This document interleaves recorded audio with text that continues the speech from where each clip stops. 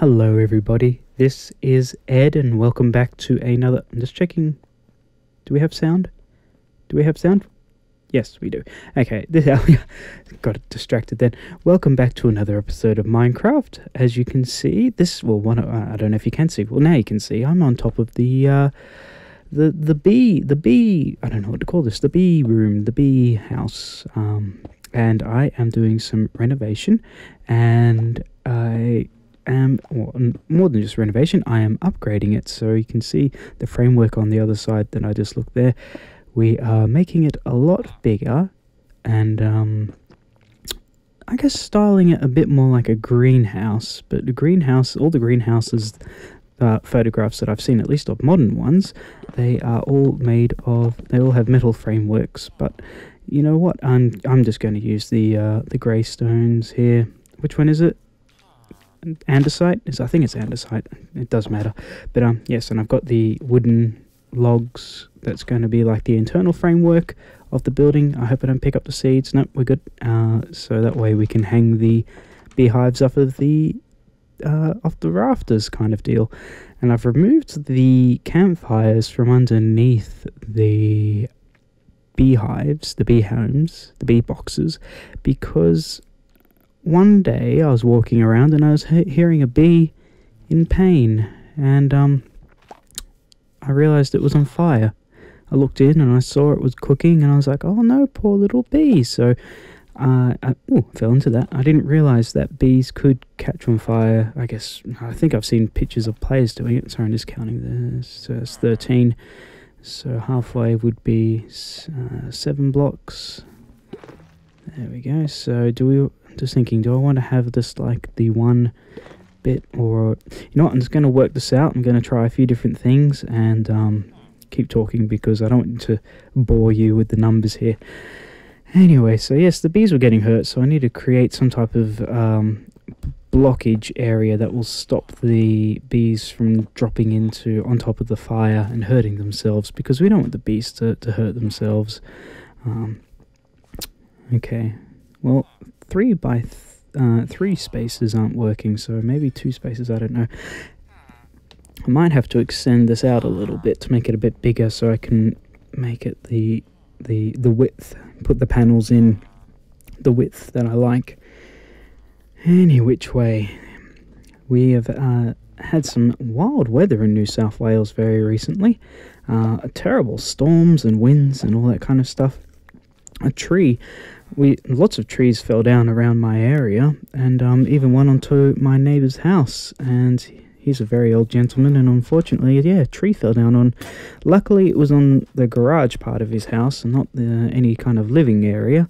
Otherwise, uh, it could have been much worse. But uh, yeah, poor guy had a, a, tree fall down on him. It wasn't a very big one, but it certainly did do some damage to his property. Um, mostly the uh, the the tiles uh, on his rooftop were were smashed up. Um, I don't know if any tiles fell in on top of his car, and that would be imagine trying to explain that to the insurance agency. Well, I guess you could. It wouldn't be too difficult explaining what happened in that case. But yeah, that happens after a very wild and wet weekends that we had.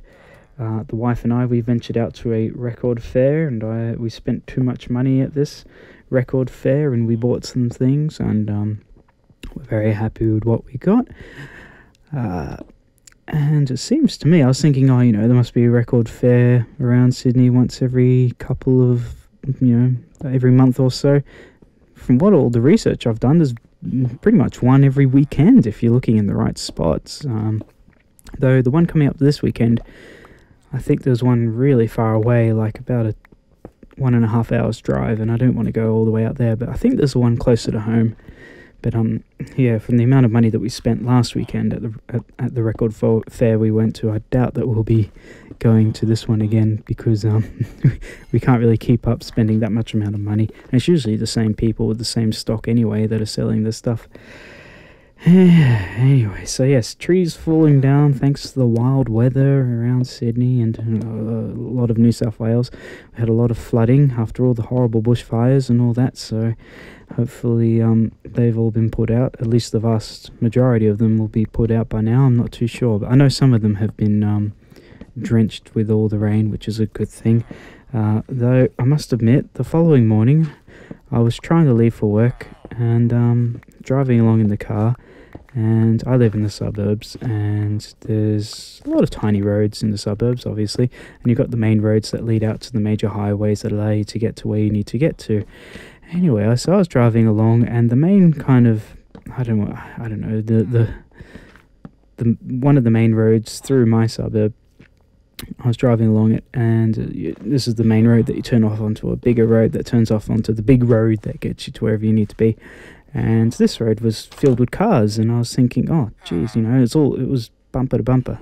I hope he doesn't mind me using his uh, using his stone cutter while he's there. I don't think he minded, and um, it was absolutely packed. Oh no, yeah, just want to see what I can trade with you. Uh, okay, cool.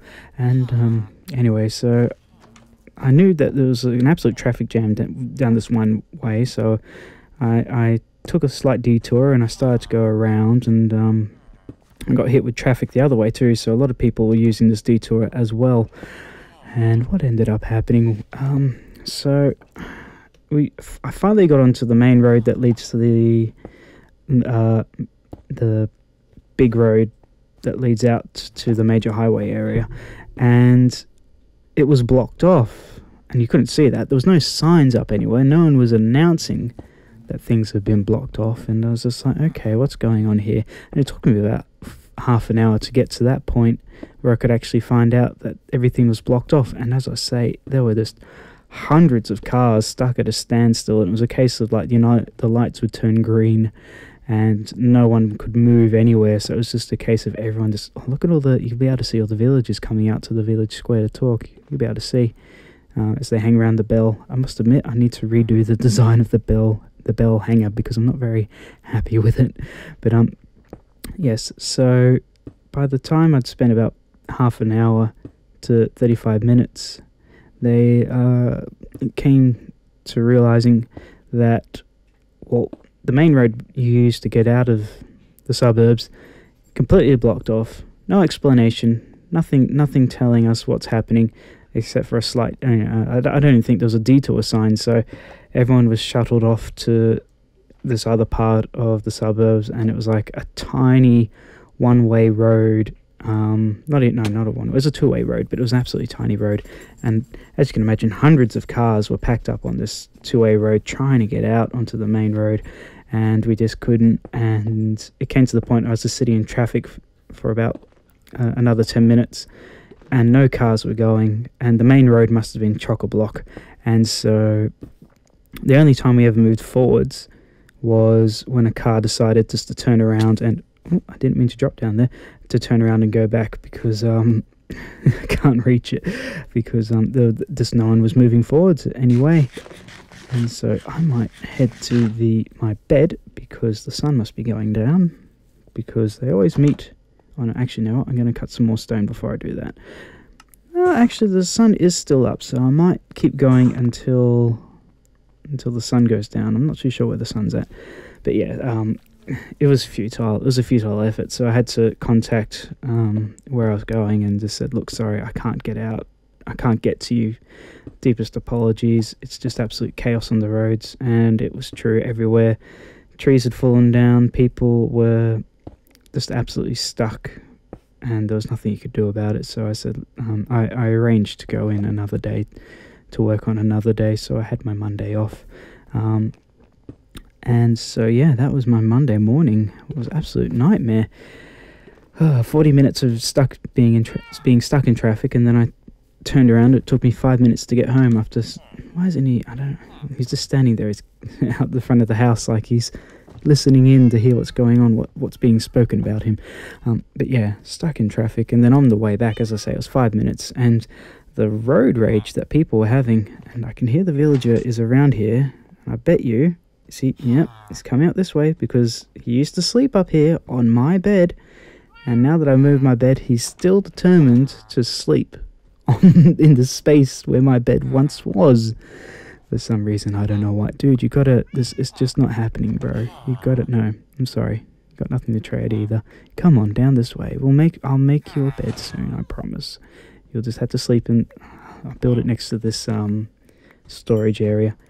I forgot I got I cooked all my glass in here, and I don't think it's going to be enough. But you know what? I'm just going to keep building, and if if I have to go mine some more grass, I'll glass, grass, glass, grass, grass, glass, glass, sand. If I have to go get some more sand, sorry, I had a mild stroke there.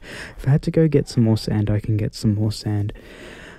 so yeah, yeah, a bit of road rage coming back. People were so tense, and I was like, well, if you're tense now, this is when I was getting back closer to home. I was like, if you're tense now, wait for the other half an hour of being stuck in traffic.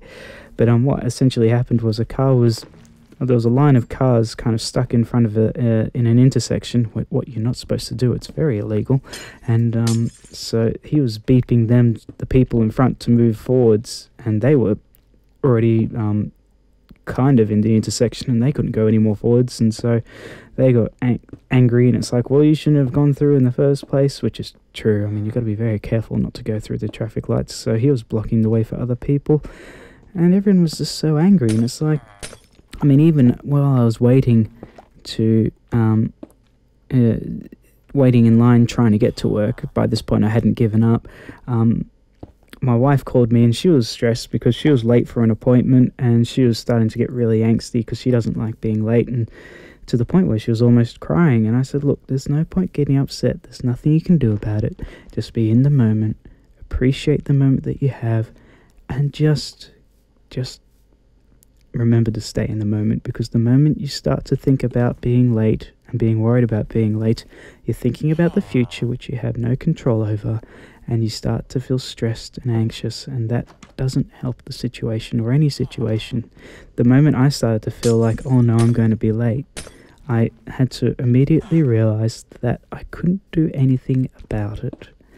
I just had to keep level headed, and I, well, and I was sitting in, traffic for a good long time, as I say, 40 minutes all up. So I just long periods of that was just sitting there not going anywhere. So i would just sit there and look at the sky. I would appreciate the clouds and the beautiful blue sky after having all the rain that we had which i'm very thankful for because we did need it. Little bee you need to looks like you're stuck there little bee. Um so um yeah i was appreciating the blue beautiful blue sky and i was um what else was i doing? Just uh, noticing the clouds and i was watching all the the swaying of the trees in the wind, and I was admiring the vibrant colors of the trees, and I just sat in the moment and I made sure that I removed any anxiety or any fear or anything like that that was normally would have that I would be experiencing while running late. And um, I'm very lucky because the people I work for on a Monday morning, they're very nice people. I make sure I surround myself with lovely, nice people that are supportive um, so that way I can feel that I can be open and honest with them, and they can be open and honest with me. And that's the most important thing, I think, to make sure that you're honest and you just keep yourself open to ideas. And I particularly like working Monday mornings. So when I'm not working on Monday mornings, I feel a little bit down, unfortunately, but that's okay. I realized it just wasn't meant to be, and I just let go of that. Now I'm going to fill in the side here to see how we are gonna go. Actually oops I don't think I wanted to do that. Actually I don't know if I want it up that like that. I don't think I do but I'll have a look down here to see how things look. Oh little bee what you doing up there? It's so high up. Because I haven't put a roof on the on the thing. That's okay. I'm sure the bee will come back. Okay let's have a look at a 3 by 3 as opposed to a 3 by 4 and uh, I must admit I prefer the 3 by 3 so I may have to remove those but let me I won't be so harsh and do anything just yet. I'll just leave it as it is. So other things that have happened recently, our washing machine broke down unfortunately, so I've been washing the clothes by hand, um, and I can assure you with the amount of clothing I'm going through, uh, me and my wife, because I wash all our clothes, um, it's a lot of hard work doing these things by hand, and so you got to agitate them, which is what a washing machine does. You basically put the detergent in with the clothing and then the water, the machine pumps in the water and then it spins around to agitate the clothing to help get the stains and the dirt and all the yucky stuff off of it. So I've been using a trough and I've just been washing everything big loads by hand and shaking it and moving it about and making sure that it um, gets well and truly agitated. I need some more cobblestone and um, yes, it's it's it's a heavy job because when clothes get wet, especially if you have a lot of them, it's a lot of it's a bit of a workout for your arms. So um, um, while it was upsetting that the washing machine did break down, and I've opened it up. I opened it up and had a look, but all I could smell was smoke. So I'm guessing the motor burned out or something burned out, a transformer or a fuse or something like that. I have no idea. Um, but yes, uh, I could get upset the, the the fact that the washing machine broke, but then I realized that the moment I get to spend, sorry, I keep hitting my mic. The moment I get to spend um, washing things by hand really makes me appreciate how much appliances appliances help us today. So I didn't get upset. I enjoyed the moment that I could appreciate, learn to appreciate having um, the electrical appliances that do so much work for us. So while it is tiring and it does take a lot more time, I make sure I don't allow myself to be upset because of it because it's you know what it's a nice it's a humbling experience because I'm sure there are many many people around the world that have to wash things by hand and um dear me all this glass okay sorry um so yes the poor washing machine decided to give out but I'm sure we'll be getting a new one very very soon I hope so anyway. If not, I'm going to get some very nice strong arm muscles, I think. And what else happened? Um, recently, during the storm, we, we got a few um, skylights in our house, and the, the the way they work is we've got you got the main open uh, glass area in the roof that has like a bulb that allows the sun to come through, and then we have like a, a, a small dome that's I don't know the size of a of a a little bit smaller than a pizza, I guess, as far as the, the, the circle size goes. And um, we have possums in our roof as well. And the other day I woke up and I went to the pantry and I looked inside there where a skylight is, and the skylight had was on the on the ground, and there was oh my goodness, all the bees was on the ground, and there was dirt everywhere, and there was muddy, um, muddy. I don't know what to call it. It was like slidey, slushy bits all over the side of the of the cabinet door, and there, were, mm, there was this mud everywhere. And I started to go throughout the house, and there was mud in the bathroom, and paw prints all in the bathroom, and um, what else? And uh, there's this mess all over the place. And then I went back to the cupboard, and I saw that one of the glasses from the cupboard had been knocked down out of the cupboard. And I started to put a few things together and I realized I, I peered in and I knew it before even I looked in and there sitting hiding at the back on the bottom shelf was a an Australian a ring-tailed possum and these guys they're not like American possums they live in the trees and they look a bit different um, compared to the American ground possums and um, to be honest with you. Uh, they're cute little things. They, they, they, are, even though they live in the house. So it was a bit wet, but it was very sleepy and very scared. So I just left it there for a while um, while I figured what to do with it. And I, I told my wife about it, and she was at work, and she said, "Oh wow, you know, we got a possum in the house." I was like, "Yes, we got a possum in the house." So we left it. I I left it there, and I figured I'll wait until my wife comes home before we try and move it um, just in case it starts to get a bit rowdy. Not that it did. And um, it was just sitting there the entire day. And then um, come later in the evening, not before night, because uh, at night time they get very active, but just uh, in the evening, just before sunset, um, let's see, we gave it a bit of banana and it munched down on the banana, so it must have been hungry. And then the poor thing, it was so docile but very scared, the poor little thing. So we put it in the cat cage and um, that we had and took it back outside and put it back out, in nature and it ran away um, away from the house so maybe it had a bad um, it, it just had bad memories of falling through the, the skylight it didn't want to live in the house anymore in between in, in our roof well, not in the roof. It's in between the our first floor and our second floor. We've got like a foot and a half gap in between the two floors that the possums like to live in, which makes it very difficult because it's not easy to get in between there if you're bigger, anything bigger than a possum or a cat. Anyway, so we let the possum go back out, and um, yeah.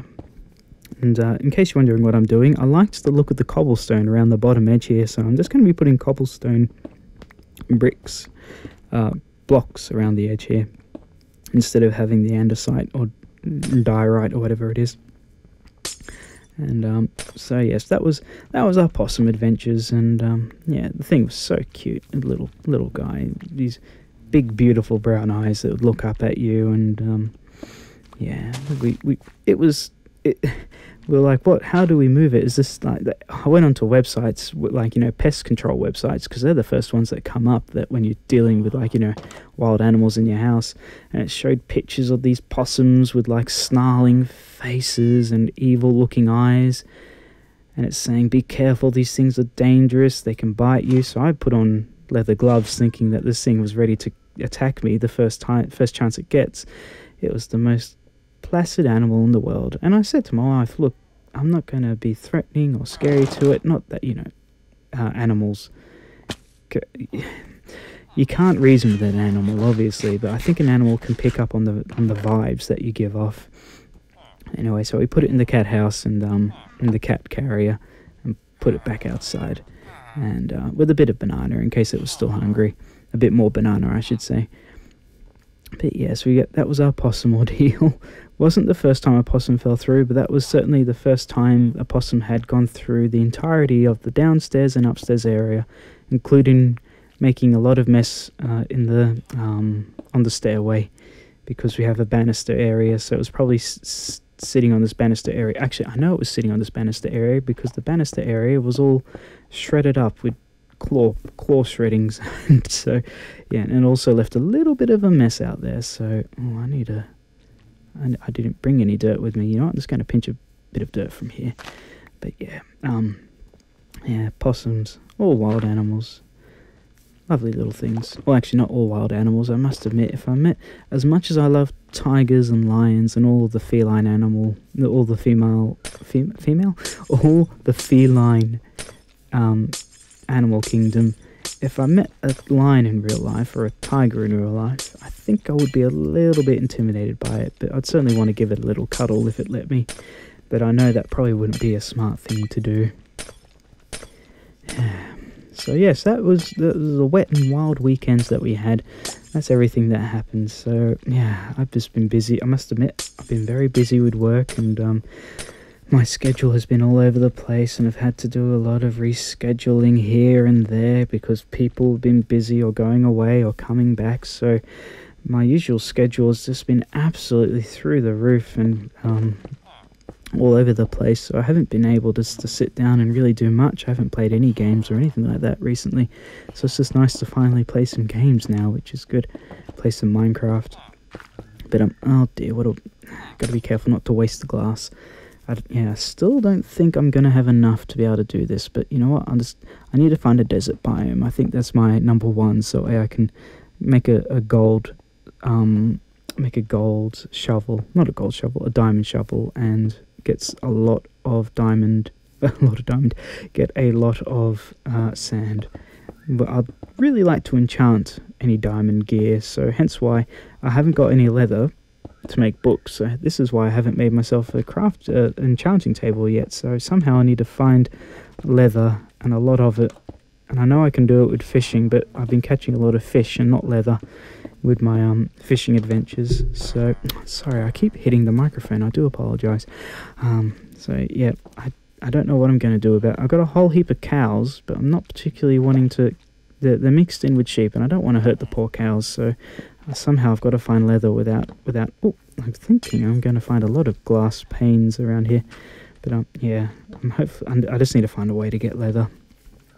If only we could get synthetic leather in the game, or if only we could use something else to cover the books.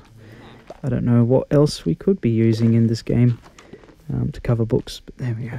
Put ourselves the door there. I still got to put the roof on top, but you know? It's looking good now. It's nice and large. I'll be able to put. I'm thinking how many how many honey boxes I should put in here, bee boxes I should put in here. I think I should have six and alternating, but um, I'll come. I'll, I'll work on that later. I'll figure that bit out later. Where are you going? Hello, you're going a bit too far away from home. Come back here. Hello. Oh boy, it's really on an adventure. Lassie, come back. Not that the, I'd call her bee Lassie. Come on, over this way. There we go. Yeah, I mean, it feels a bit futile doing this because there's no roof and it could just easily fly away again. But I'm hoping if I can keep them together, it won't get into too much trouble. Can we? Hmm. There we go. Gave it a.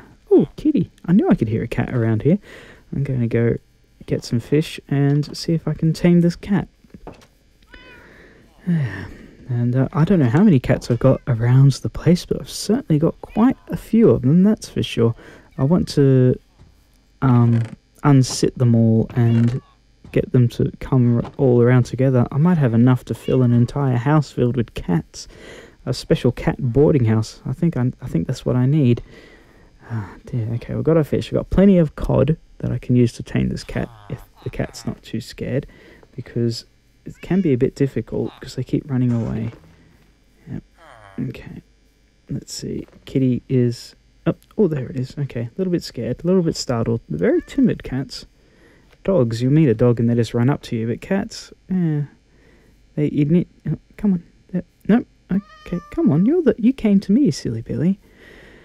Ah, oh, boy. So we got Valentine's Day coming up, and uh, the the wife she doesn't really like celebrating it all that much. You know, one time um, one Valentine's Day, we just decided to get fish and chips and a bottle of of cheap champagne, cheap fizzy wine, sweet wine, and um, that's all we wanted. She said that's all she wanted, so that's what we had, and it was a very nice home experience without any kind of um, um, high expectations or anything like that. And we'd never really, we're not like that. We don't go to fancy four star restaurants dressed in in gear. We're very just kind of casual and take things as it comes as they come.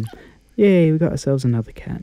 And uh, but this year we're going to our favorite Italian restaurant because, um, well, we both like eating there, and they keep sending me discounts, so I'm not going to complain about that. So um, yeah, we like there, and they've got the absolute best pizza and pasta. So it's usually very busy, but you know what? I think I'm going to have to finish this off another day and get some more sand. But thank you all for joining me, everyone. Take care, live long, live well, look after yourselves and each other. Goodbye.